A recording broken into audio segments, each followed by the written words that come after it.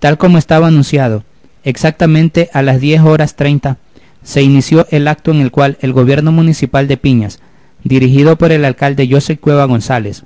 con ayuda del Plan Binacional, mediante la firma de dos convenios, concretaron el ofrecimiento de cambiar 4 kilómetros de tubería del sistema de agua potable en el casco urbano y la implementación de hidrociclones y otros equipos en la planta de tratamiento, así como para cambiar la red de distribución y construir una nueva planta de tratamiento en la parroquia Piedras de esta misma jurisdicción cantonal. En la ceremonia desarrollada en el Salón de la Ciudad este viernes, intervino inicialmente el alcalde para dar una explicación detallada del alcance de los dos proyectos, así como para agradecer al Plan Binacional que está ayudando con el financiamiento del 80% para hacer realidad tan sentida aspiración colectiva.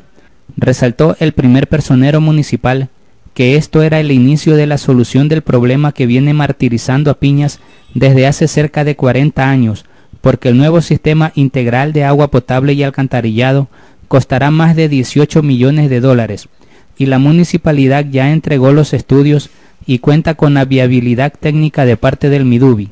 estando en estos momentos intensificándose las gestiones para el financiamiento definitivo. El alcalde de Piñas destacó la labor del director ejecutivo y del gerente del Plan Binacional, doctor Marcelo Torres, y el ingeniero Gary Vera, con quienes se viene trabajando en forma coordinada y con ayuda directa del gobierno nacional presidido por el economista Rafael Correa Delgado, gesto que es reconocido por todos, especialmente por quienes integran la presente administración. Después de las palabras del alcalde, se presentó un video sobre los trabajos que se van a realizar y luego se firmó los convenios, el uno para la optimización y mejoramiento emergente del sistema de agua potable para Piñas y el segundo para la ampliación y mejoramiento del sistema de agua potable de la parroquia Piedras.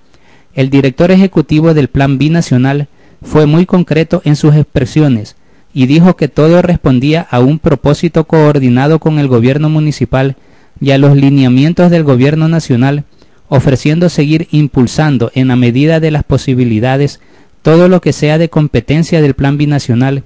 en función de los intereses colectivos. También intervino el ingeniero Diego Vinuesa y Richard Tapia León en representación del gobierno parroquial para agradecer por este importante proyecto para Piedras. En el acto, a más del alcalde, del director ejecutivo y del gerente del Plan Binacional, estuvieron presentes el jefe político Washington Garcés, el párroco del cantón Manuel Guimerá, los concejales licenciados Víctor Cabrera, Franco Zambrano y doctor Franklin Íñiguez, presidentes de las juntas parroquiales de Moromoro Carmen Loaiza, de Capiro Gilmer Ordóñez y de San Roque Jesús Ramírez, la gerente del Banco Nacional de Fomento ingeniera Flor Castillo, el secretario del Sindicato de Choferes Profesionales Fernando Apolo Romero, delegados del Área 8 de Salud, el director de la Escuela González Suárez, licenciado Luis Pogo, representantes de los medios de comunicación, funcionarios del Plan Binacional, del Gobierno Municipal y más ciudadanía.